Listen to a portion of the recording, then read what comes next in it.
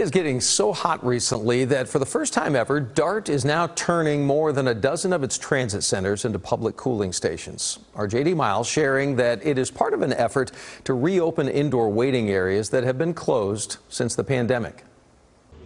Matt Swoger says his daily trips on DART buses and trains to and from work involve a lot of sweating in the heat and recently have been nothing short of miserable. I pretty much get home and then, you know, change clothes into something a little bit more clean.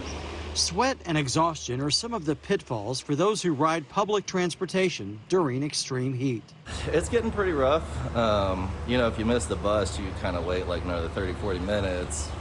Uh, like I missed the last one by like 30 seconds. So I'm sitting out there in the sun for about, you know, 45 minutes. Starting tomorrow, Swoger and others who use DART's Arapaho Center and seven others around Dallas will be able to hang out and wait inside indoor terminals, which will be staffed and, more importantly, offer cool air and water along with vending machines. We're all looking at the exact same heat measures right now and the extreme heat, the unbearable heat we're suffering. The last thing you want is to spend those 10 to 15 minutes outside. A DART spokesman says the cooling stations will be open from 9 a.m. to 7 p.m. every day. 11 DART cooling centers open today, including one at the Parker Road Station in Plano, where we found a number of passengers taking advantage of it. Christopher Brown says he was struggling with the heat before finding his way inside.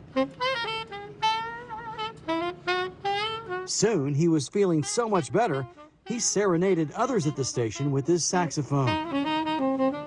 Well, I can't decide which is worse, cold or hot. Uh, hot is pretty bad, though, because you can actually, you know, make yourself sick. I actually got sick. Seven more of these DART cooling stations will open tomorrow. You can find the locations of them and the 11 that open today at CBSNewsTexas.com. We are told they will remain operational just as long as these hot days last. In Plano, JD Miles, CBS News, Texas.